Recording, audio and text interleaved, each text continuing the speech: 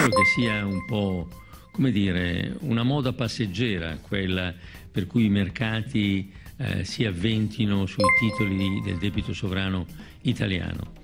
Noi siamo veramente un'economia forte, la terza economia europea, la settima economia del mondo.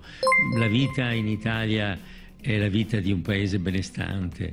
In tutte le occasioni questo si dimostra, i consumi non sono diminuiti, i ristoranti sono pieni, eh, gli aerei bisogna con fatica si riesce a prenotare dei posti, i posti di vacanze nei ponti sono assolutamente iperprenotati. Ecco, non credo che voi vi accorgiate andando eh, a vivere in Italia che l'Italia senta un qualche cosa che possa assomigliare a una forte crisi.